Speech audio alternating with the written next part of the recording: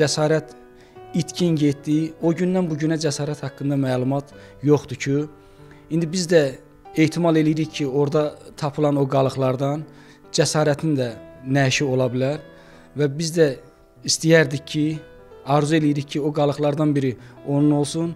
Biz aparaq Şəhidlər xiyabanında dəfn eləyək, ziyarətinə gedək və gözümüz də yığışsın ki, ailəsinin də gözün yığışsın ki, bizim itkinimiz tapıldı.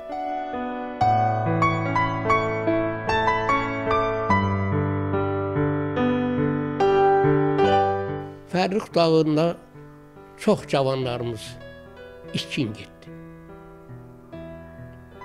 Kimi dedi öldürüldü, kimi dedi sağ qaldı, əsir düşdü. Fərrux dağı çox cavanlarımızı yedi. Şəxsən bax bizim bu Qəlbaylı kəndindən Allah rəhmət eləsin. Əhməd Allahverdiyev vardı. O da həmin Fərrux dağında şəhidlik zirvəsinə yüksəldi.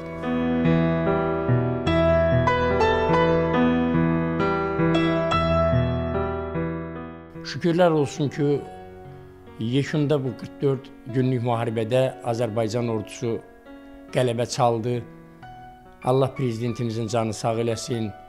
Çox gözəl ordu hazırlamışdı. Hər cür lazım olan avadanlıq, silah-sursat alınmışdı. 44 gün müddətində bütün məsələni həll elədilər. Ermənilər öz yerinə oturuldu. İndi şükür olsun arxeyin hər bir kəs öz elində, obasında, yurdunda oturur, işi ilə, gücü ilə məşğuldur.